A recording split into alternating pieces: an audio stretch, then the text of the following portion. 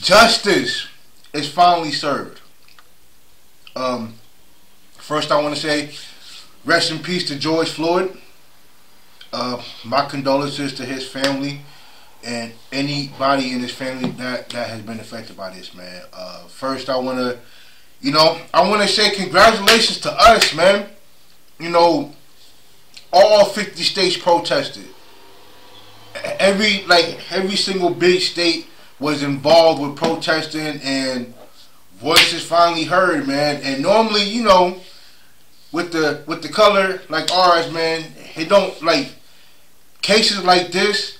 We we are always on the wrong side of things, you know. So I definitely wanted to say thank you, you know, for those making him guilty, like for finally being on our side and you know and what he was accounted for for all he was charged for all three accounts. So I think the first he was uh, second degree unintentional murder, uh, third degree murder, and second degree manslaughter.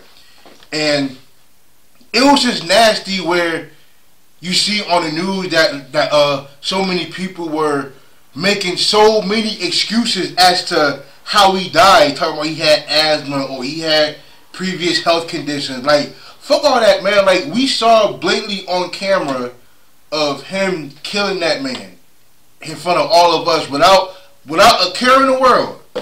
You know what I'm saying? So, you know, I do, you know, so justice has been served. Thank God. And, you know, it's not, you know, it's not much really we can say about this now, you know.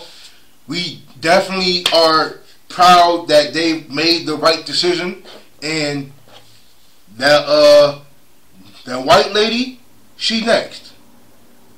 She's next. But one step at a time.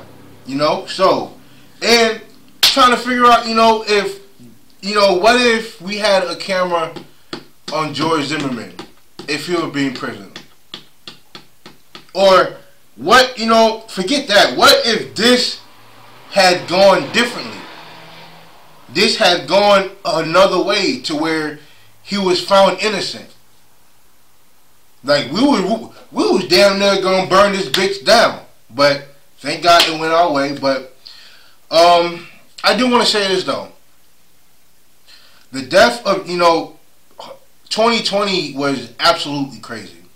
Like with all the protesters and the looting and the looting and so many things that was happening last year with the corona. Like everybody had to stay inside because of the corona. Everything shut down, and then the death the death of George Floyd brought everybody outside.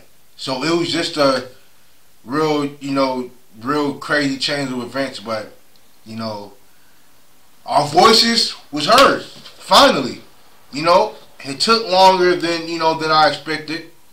You know, for them to come to a decision and for them to have case about this, but you know, justice is served and hey, ain't nothing you know said about that, man. Thank you know, thank you. Thank you. Rest in peace. Rest in peace, George Floyd.